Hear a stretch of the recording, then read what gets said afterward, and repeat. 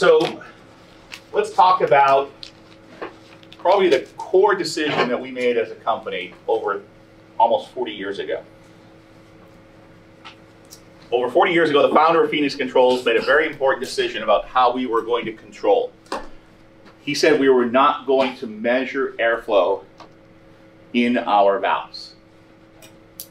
And if you talk to anyone in the industry who's familiar with Phoenix Controls, that's the one thing they know about Phoenix Controls. Oh, they don't measure airflow. And it's true. We do not measure airflow in the building with our valves.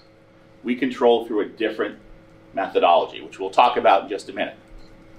But first, we want to talk about why we don't measure airflow. Why did we make that decision almost 40 years ago not to measure airflow through our devices? And the truth of the, the, the matter is, airflow measurement is not a good solution for